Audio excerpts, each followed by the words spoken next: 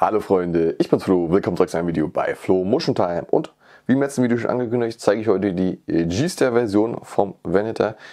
Die habe ich hier auch schon aufgebaut zu stehen. Ähm, ja, als ich mir die Molking Version hier gekauft hatte, habe ich mir auch gleichzeitig hier die G-Star Version bestellt. Äh, Gerade ein Angebot gab es die bei AliExpress.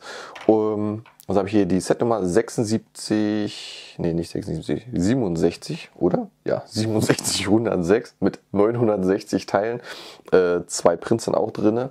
Äh, ich habe 24 Euro bezahlt, aber ich habe gesehen, kostet im Moment knapp um die 30 Euro.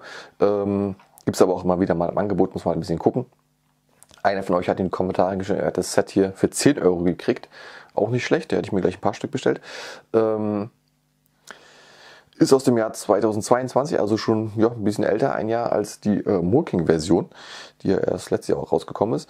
Und es handelt sich hier, wie gesagt, um einen geklauten Mock von OneCase, um genau zu sein. Äh, Link dazu ist auch in der Videobeschreibung zu Rebrickwill, da könnt ihr euch die Anleitung kaufen. Ähm, ja, jetzt kommt erstmal das Unboxing und Stop-Motion-Aufbauvideo und wir sehen uns danach zum Fazit wieder. Also viel Spaß und bis gleich.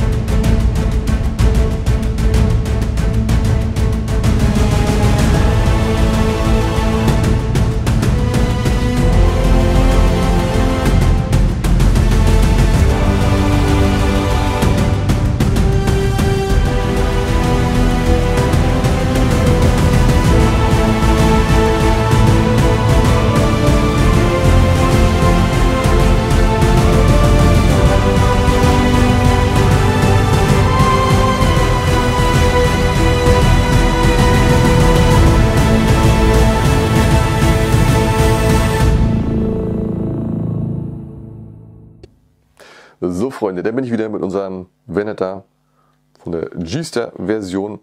Äh, wie gesagt, es handelt sich hier um einen geklauten Mock von äh, OneCase, habe ich ja schon erwähnt. Link dazu ist in der Videobeschreibung, da könnt ihr euch die Anleitung kaufen. Da sind auch gleich drei Schiffe mit drin. Und gucken wir uns erstmal schnell die äh, G-Star-Anleitung. Die habe ich hier, die hat 46 Seiten, ist in Vollfarbe bedruckt. Alte Bauabschnitte werden so ausgeblasst, blau, das kennt man ja. Und wir haben hier vier große Bauabschnitte gehabt und lässt sich alles wunderbar bauen. Erkennt man auch alles gut, genau wie bei der Mulking-Version. Ähm, irgendwie nichts zu meckern. Steinequalität ist G-Star-mäßig, wie ich finde, ziemlich gut. Die Klemmkraft ist super. Ähm, manche Fliesen haben so ein paar Kratzer drauf, aber die haben Mulking auch. Und im Großen und Ganzen passt es. Ja, ich finde unten bei den schwarzen Steinen, seht es am Ständer, da kippelt es so ein bisschen. Äh, ja, da ist die Pascal auch nicht zu 100%, aber ansonsten ist die Steinequalität ja, im Großen und Ganzen ziemlich gut. Dann gefehlt auch nichts, es war alles da. Äh, ein einziges Teil ist übergeblieben, hier so ein, die Oberseite von so einem Turntable, sonst nichts. Und wir haben ja noch zwei schicke Prints drin, die zeige ich euch gleich hier oben drauf. Ihr seht es, die zwei gelben Fliesen, die sind bedruckt, haben so eine Umrandung dran. Allerdings, ihr seht schon die eine Fliese bei mir, da ist der Print nicht ganz in der Mitte leider. Das ist ein bisschen schade. Aber nun gut, so ping sind wir auch nicht. Damit können wir noch leben. Dann der Aufbau. Ja, habe ich eben schon gesagt, der ist eigentlich sehr einfach. Äh, ist genau wie bei Mulking-Version, das sind nur minimale Unterschiede.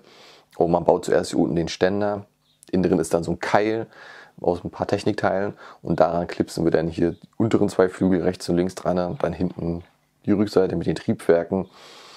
Da baut man noch so eine kleine Umrandung und dann kommt oben drauf die äh, ja, anderen zwei Flügelchen quasi dran geklipst. Ganz einfach und natürlich hier noch die Brücke. Also alles lässt sich sehr einfach bauen, ist eigentlich nicht schwierig. Ähm, wenn ich schon beim Ständer bin, genau, guckt ihr mal euch an. Ähm, was wollte ich auf? Dieser Schriftzug, genau, das ist der One-Case-Schriftzug und den hat Gister einfach äh, drin gelassen. Äh, den haben sie noch nicht mal weggemacht oder geändert. Der Mooking hat es ja entfernt und ihren MK Stars Sticker dahin gemacht. Ähm, aber habe ich eben schon erwähnt, ne? der Ständer wackelt so ganz leicht, bei mir so ein bisschen bananenmäßig. Ähm, das biegt sich so ganz leicht durch. Bisschen schade.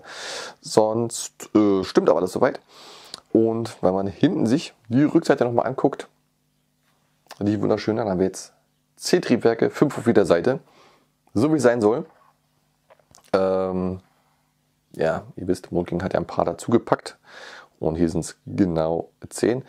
Ähm, ein bisschen schade ist, dass man hier keine so eine blauen Steinchen schon verbaut hat, um das leuchtende Triebwege anzudeuten. Aber das kann man ja einfach selbst machen. Ähm, ja, mehr gibt es eigentlich nicht großartig zu sagen. Habe ich die Ermessung jetzt schon erwähnt.